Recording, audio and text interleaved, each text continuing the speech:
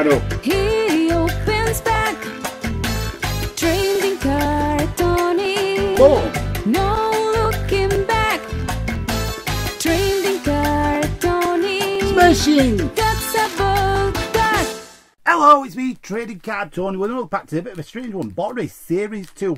The fantasy continues. 10 adult orientated cards per back. Uh oh. Yeah, yeah, yeah. We might might have to do some censoring. I don't know how adult they are. What are they going to be? We will see together. Um,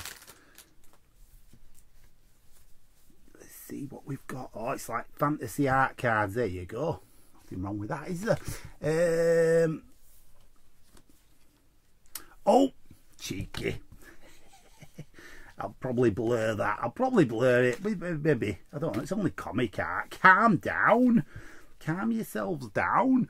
Me should calm down in it. Um, yeah, that, yeah, that's a bit.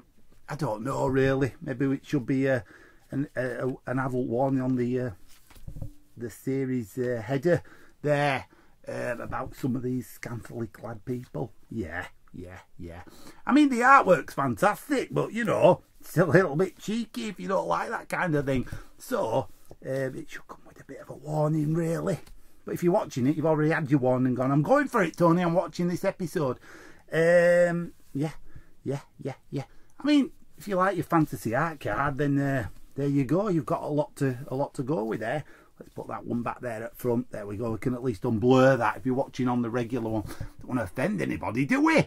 You know, somebody might just tune in and go, what's this show trading card? Toy? Oh my God, there's a lady in it with the bits out. anyway, that's it for another episode. If you got this card set, let me know. Uh, that's it for another episode. Don't forget to like, subscribe, comment, ring the bell for notifications. Bye!